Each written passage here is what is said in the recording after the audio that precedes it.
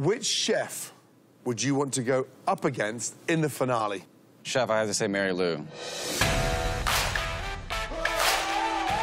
Aw, You gonna come sit with me, Hams? I would love to, Hams. I got really scared. Cody was gonna go home. Saw my life flashing before my eyes today. Oh my gosh, I thought I lost you. You never lose me. From the time Cody walked into Hell's Kitchen, he's been chasing Mary Lou like a dog in heat. I don't wear boxers. Was like in the cartoons where the eyes pop out of its head and its mouth opens up and its tongue rolls down and it goes. Cody makes me feel tingly. And he can't go home. Not yet.